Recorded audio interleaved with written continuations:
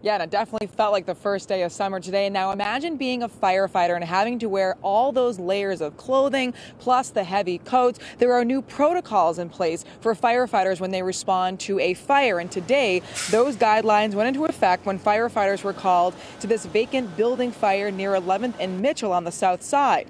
There was heavy fire on the second floor when first responders got there, and it was getting very hot. Two more engine companies were called to help out. Now, in this type of heat, firefighters are only allowed to be inside for about 20 minutes, and then they're rotated out. They also wear special uniforms to help keep them cool. Our fire coats have Gore-Tex vapor barriers to wick the humidity and heat, release it from against your skin. Now, their helmets are also 20 pounds lighter than they used to be. A firefighter did have to go to the hospital, but it was a non heat related issue. We're live outside the Milwaukee Fire Department headquarters tonight. Christina Palladino, WISN 12 News.